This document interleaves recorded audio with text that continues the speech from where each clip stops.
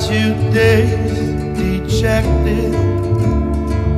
The cigarette smoke hurts my throat.